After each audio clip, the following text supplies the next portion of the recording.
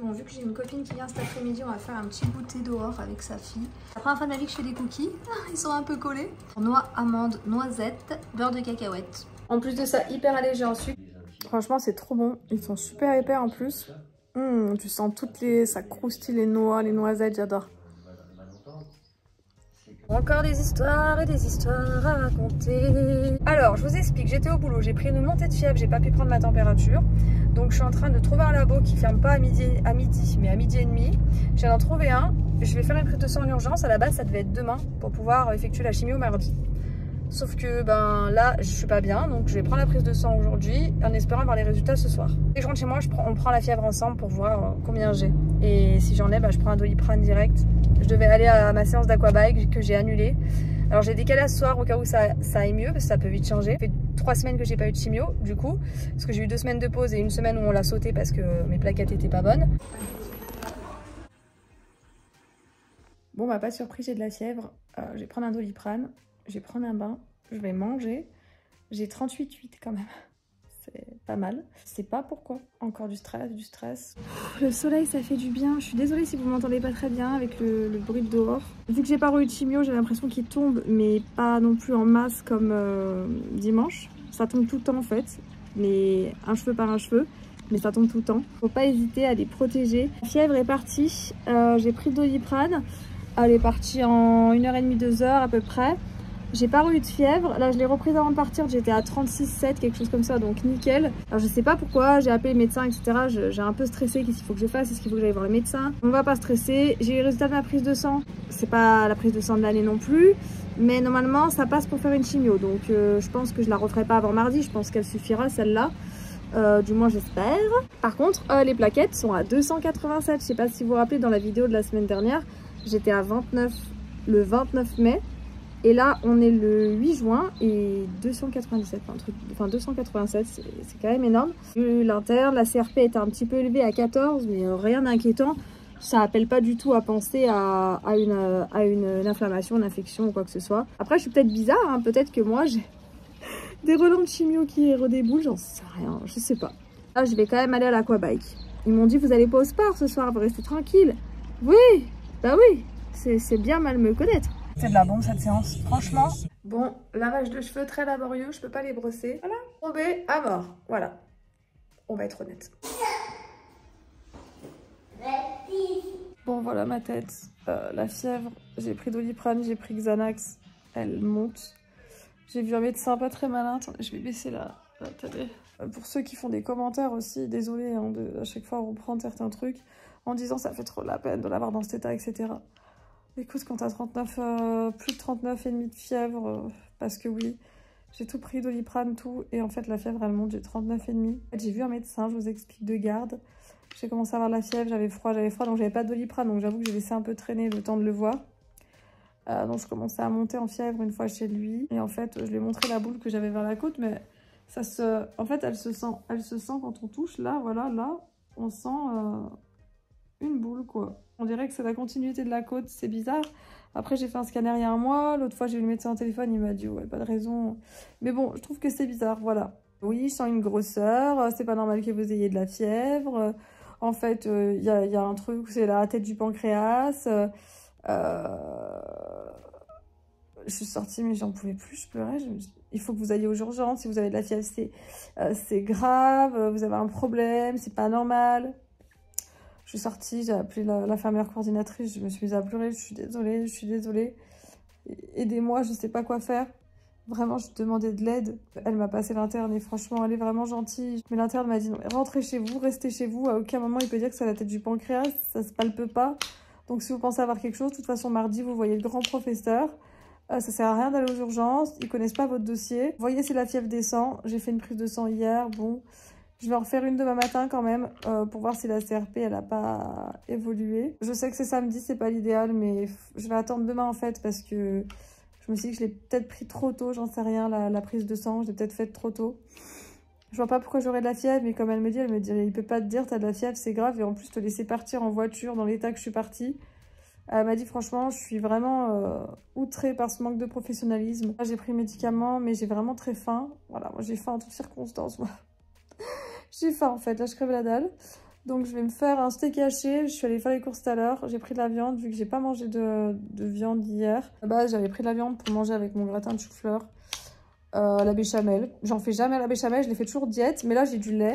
Et vu que j'en bois pas beaucoup du lait, ben je, me suis dit que je ferais un gratin de, de chou-fleur à la béchamel, à la vapeur, avec de l'ail. Là, ce soir, j'irai manger chez mes parents. Euh, il y a Maya qui arrive dans 3-4 heures. Je reste là jusqu'à que Maya arrive. Et dès qu'elle arrive, euh, je pense que je vais aller m'habiller, mettre en survêtement et je vais aller passer du temps chez mes parents. Je crois que la fièvre peut s'arrêter, en fait, parce qu'elle monte, elle descend. Elle est revenue. Et je me dis que normalement, demain ou après-demain, si je vois que dimanche, ça continue, continue, là, je pense que je vais m'affoler quand même. Toujours dans le noir pour changer. Ma pisse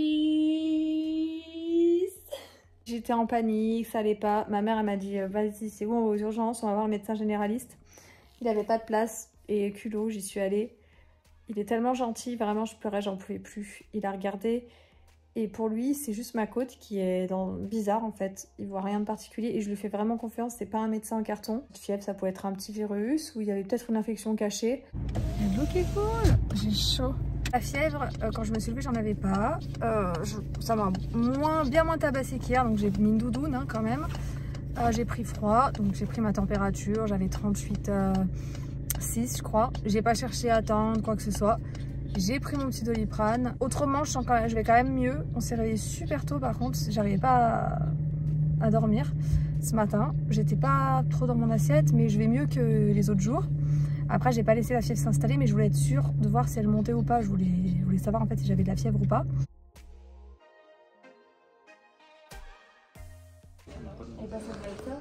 Bon, j'ai mis mon patch parce que, à mon avis, ils vont me faire des hémocultures sur le patch et sur le bras.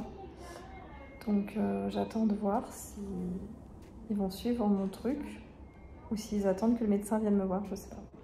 En tout cas, ce qui est sûr, c'est que j'ai une bactérie parce que la prise de sang elle est pas bonne. J'ai fait deux trucs bactériens et les deux ils sont pas bons, donc euh, c'est pas élevé, élevé, mais c'est élevé. Moi j'ai fait l'hémoculture, j'ai une gueule, à un moment les urgences ça me stresse, donc j'aurai les résultats je pense la semaine prochaine. Là j'ai fait une radiographie des poumons et si la radio est bonne, je fais une VECBU, je peux rentrer. Si c'est pas bon, ben voilà. Si je sanglote ou je claque des dents, ben il faut que je revienne. Ça veut dire que j'ai une infection dans le sang.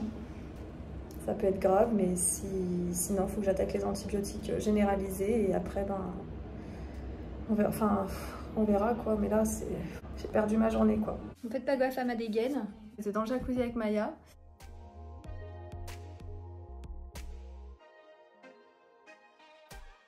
bébé. On a fait un peu de ménage, il fait lourd en fait. On va prendre la fièvre en direct. Euh, j'ai fait l'antibiotique, donc c'est des sachets comme ça. Euh, ça c'est mon généraliste qui me l'a donné. Je sais pas si vous avez tout compris dans mon histoire en fait, donc je voulais vous refaire un point.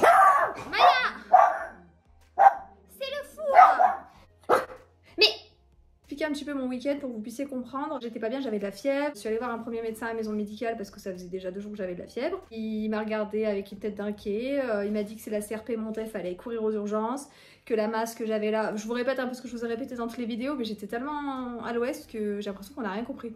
Que la, la grosseur que j'avais là, que c'était une grosseur, alors qu'en fait, euh, le médecin m'a dit que c'était une côte flottante. Et en fait, il m'a dit oui, c'est la tête du pancréas, c'est une masse, il faut aller aux urgences, vous avez de la fièvre, c'est pas normal. Alors j'entends bien, mais en fait, tout le monde peut avoir de la fièvre aussi. Oui, on peut malheureusement avoir un cancer et de la fièvre. Enfin, il n'était pas du tout rassurant, il aurait pu dire, mais il y a plein d'autres possibilités, etc. Et en fait, quand j'ai appelé l'interne, je, laisse mes cheveux tranquilles, ils, tiennent vraiment pas du tout. J'étais vraiment énervée en fait euh, de voir que le médecin a pu me dire un truc pareil parce qu'on dit pas à un patient ah oui mais du coup euh, c'est sûrement un cancer euh, que vous avez, c'est la, la, tête du pancréas, ça se sent pas à la palpation en fait. Surtout que bah fallait voir le positif. Quand je prenais Doliprane, j'allais mieux. J'ai appelé euh, l'interne, elle était outrée. Elle m'a dit Attends, mardi, reste chez toi. Elle s'est pas affolée. Elle m'a dit Voilà, euh, continue les Doliprane. Et donc, du coup, le soir, je suis allée en pleurs chez mon généraliste qui avait pas de place. Il m'a dit Bah, viens, viens, viens, ma grande. Et il a regardé, et il a regardé ma côte, il m'a rassurée. Et il m'a dit m'a dit T'as sûrement une petite infection en fait, mais tout le monde, tout le monde peut en avoir une. Alors, du coup, je suis restée là-dessus, ça m'a rassurée, etc. Et le lendemain, en fait, il m'avait fait refaire faire une prise de sang avec des... Euh, euh, je crois que ça s'appelle les PTC, je sais plus comment ça s'appelle. Et en fait, j'étais à 0,23 alors que son truc, c'était marqué entre 0 et 0,05. Donc du coup, euh, ou 0,5, je sais plus. Et en fait, je me suis dit, ouais, il y a un problème, etc. Donc ça peut appeler une bactérie. Ça veut pas dire que j'ai une bactérie dans le sang ou, ou dans le corps ça peut appeler. Quand j'ai vu ça, je savais pas quoi faire. C'est samedi, bien sûr, c'était toujours le week-end. Donc je suis allée aux urgences. Euh, j'ai demandé une hémoculture, donc du coup dans le bras et sur la cible pour voir si c'était pas une infection de la cible parce qu'en fait je pouvais pas rester euh, en stress. J'ai appelé le SAMU, enfin ça a été un bordel sans nom. Aux urgences, euh, j'ai tout de suite dit que je voulais une hémoculture, donc j'ai bien fait parce que du coup ça a fait gagner du temps parce que l'infirmière elle a pas cherché à comprendre, elle l'a fait l'hémoculture. Le médecin est arrivé, oui vous avez mal nulle part, ça peut être une infection du sang. là, il faut vous, vous, hospitaliser. Si vous avez rien au poumon, je vous laisse partir. parce qu'il m'a fait une radio des poumons. faut pas dire ça à moi, genre vraiment, euh, ça me stresse trop. Mon généraliste m'avait donné des antibiotiques, il m'avait dit si t'as toujours de la fièvre et que ça se perdure, et ben en gros tu, prends les antibiotiques quoi. Du coup bah la fièvre a perduré, euh, je voulais pas les prendre sans l'avis de l'interne, et l'interne est tellement adorable cette personne, vraiment, elle m'a dit je suis de garde dimanche, et euh, si je trouve le temps, voilà, elle m'a pas promis, elle m'a pas, si je trouve le temps de t'appeler, enfin de vous appeler, je, vous appelle, je, je tutoie tout le monde moi. Elle m'a appelé hein, ce matin, elle m'a appelé, pas trop tôt en plus, elle s'est dit je vais la laisser dormir, enfin une grande classe quoi. Je continue les antibiotiques, si ça va mieux, parce que ce matin ça allait mieux? Après, je pense que j'ai refait une montée de fièvre dans l'après, mais j'ai rien pris, pas doliprane, rien. Si le professeur décrète que je peux faire la chimio et l'interne aussi décrète, je ferai la chimio. J'ai aussi Instagram, beaucoup de gens qui suivent, donc j'ai préféré pas dire que j'allais aux urgences parce qu'en fait, euh, ça me monte la tête. C'est pas méchant parce que voilà, mais il y a beaucoup de médecins sur internet qui sont pas médecins, vous voyez ce que je veux dire? Et il y a beaucoup de gens qui veulent aider et c'est pas méchant, mais le truc c'est que bah, ça te monte la tête, tu vois des mauvais résultats, tu vois des gens qui disent si, ça, patin. Du coup, tu te dis ouais, je peux pas rester chez moi, voilà. Alors qu'en plus, ce samedi, j'avais un gros, gros programme avec des amis, j'ai tout annulé. Et puis le fait d'avoir Maya, ça m'aide à bouger, ça m'aide à me déplacer. Donc vraiment là, je vais euh, commencer à regarder activement pour un chien. Je cherche un Spitz en fait euh, déjà grand. Je cherche pas forcément un Spitz qui vient de naître, je cherche pas forcément qu'il soit noir, blanc, euh, japonais. Tout ce que je veux, c'est qu'il soit proche de moi, qu'il soit avec moi, gâté, câlin, que ce soit une femelle, un mâle, je m'en fiche. Si ça va pas mieux, bah, je, vous ferai, euh, je vous en parlerai mardi. Je vous ferai le débrief euh, avec le professeur, avec l'interne, et si j'ai la chimie ou pas. Ah, j'ai 38,6. Ah bah si j'ai de la fièvre, 38,6. Je me sens pas fiévreuse pourtant. Bon, je me suis rapidement, je vais à l'hôpital. Ouais, voilà, voyez, je transpire à un point. Bon, euh, voilà, ça se voit que j'ai perdu mes cheveux parce que j'ai les cheveux mouillés, ça se voit plus.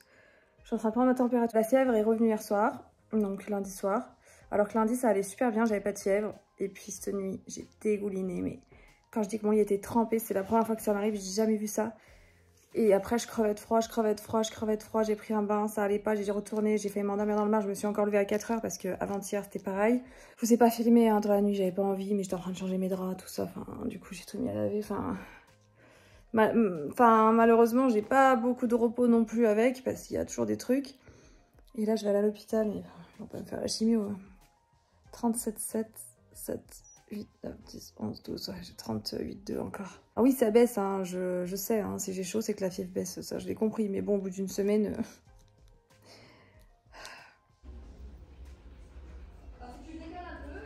Ne juchez pas ma tête s'il vous plaît. Je suis.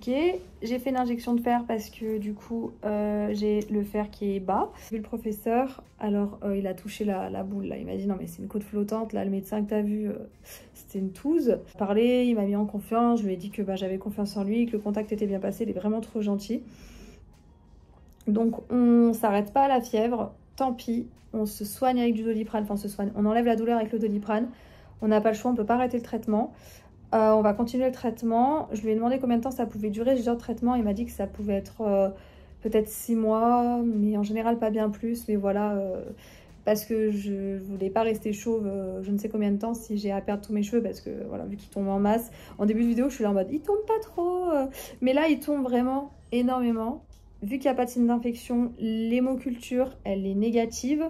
Donc j'ai pas d'infection dans le sang euh, bactéries particulières, etc. Pour lui, ça peut venir de la tumeur, donne de la fièvre. Alors, est-ce que c'est sûr que c'est ça? Non. Je peux continuer les antibiotiques. Il faut quand même que je reste vigilante. De toute façon, j'ai une chimio par semaine, ça reprend là pendant trois fois. Euh, je vais clôturer le vlog parce que là, je crois qu'il y en a eu assez entre l'histoire de fièvre et tout ce qui en suit. Vous allez voir bientôt, je vais recevoir des produits pour trouver une alternative pour les personnes qui perdent leurs cheveux ou qui n'ont plus du tout de cheveux ou même s'il leur reste des cheveux, vu que je peux pas les laver et que je peux pas m'en servir vraiment parce qu'ils me tombent dessus et que je peux pas aller travailler avec des cheveux dégueulasses, j'ai des alternatives euh, à la perruque parce que j'ai décidé, euh, vu que la perruque que je veux est très chère, quand je dis très cher, c'est vraiment très cher. J'ai décidé de trouver une alternative et vous allez voir, je vais vous parler d'une marque. Je fais des gros bisous. Ma chimio, je vais mettre mon casque comme d'habitude, j'ai pas refilmé à chaque fois. Et puis ben jeudi prochain, 18h comme d'hab. Vous pouvez vous abonner sur tous les réseaux sociaux, YouTube, Instagram, euh, TikTok, Ava Medusa. Je vous fais plein de gros bisous. Je vous dis à plus tard. Ciao, ciao, ciao, ciao, ciao, ciao, ciao.